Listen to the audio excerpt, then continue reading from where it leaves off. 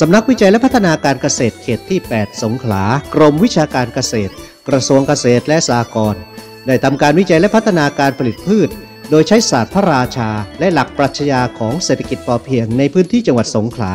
เพื่อให้ชุมชนมีความสามารถในการพึ่งตนเองได้ โดยทำการวิจัยและพัฒนาตามแนวทาง 4 เสาหลักสู่ความพอเพียง ได้แก่ 1. การรวมกลุ่มเกษตรกรและพัฒนากลุ่มให้เข้มแข็ง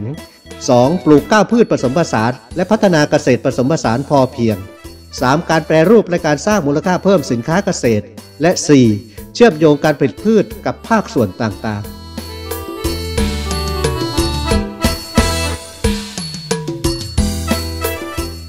ผมนายสุชาติมณีโชต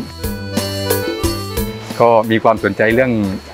งานเกษตร ก็เลยเข้าไปเรียนปวชที่เกษตรรัตภูมิเกษตรสงขลาครับ แล้วก็ไปต่อปวสที่เกษตรนราธิวาสจากนั้นก็ออกมาทำงานที่ใฝ่ฝันไว้ คือจะพัฒนางานด้านการเกษตรนะครับ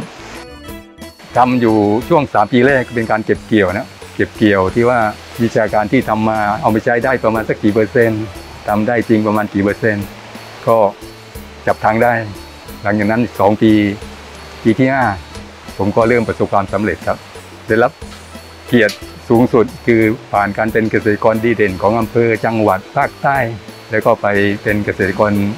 ดีเด่นระดับประเทศกับปีสงสองพันห้าร้อยสามห้าลักษณะงานของที่เข้ามาทำผมจะเน้นเรื่องการเกษตรแบบผสมผสานนะครับจะไม่เน้นเชิงเดียว คือพิธีของที่นี่สิงห์นครคือทำนา ผมก็ทำนา แล้วก็ พอมองในมิติของพี่น้องของสิงห์นครทำนาอย่างเดียวกับมันก็มีรายได้ปีละครั้งปีละครั้งก็ผมก็มาทำเริ่มรูปแบบของไร่นาสวนผสม ก็ที่นี่หลักๆก็ทำเรื่องของปศุสัตว์ แต่ถ้าเข้ามาในพื้นที่จริง ๆ เราทำครบทุกเรื่อง ปัจจุบันผมบริหารพื้นที่โดยทำนา ประมาณ 32 ไร่ แล้วก็ทำสวนผลไม้ 20 ไร่ คือมะม่วงพินเฉินเบา แล้วก็ปลูกหญ้าในเปียพันธุ์แรกๆก็ลงพันธุ์ท้องถิ่น แล้วก็พัฒนามาปัจจุบันก็เป็นพันธุ์ฝักช่วงหนึ่งนะครับ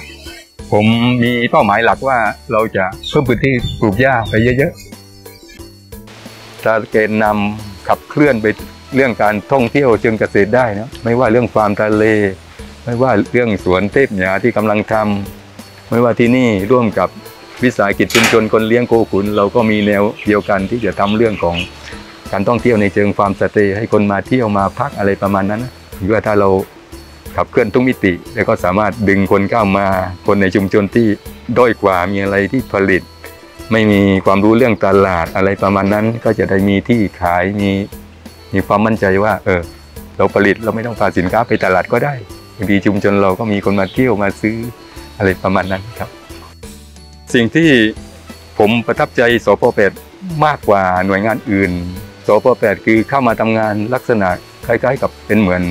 เพื่อน เหมือนพี่ เหมือนน้องรู้สึกว่าเรามีความรู้สึกว่ามัน พูดคุยอะไรเราเปิดกันได้ทุก ๆ อย่าง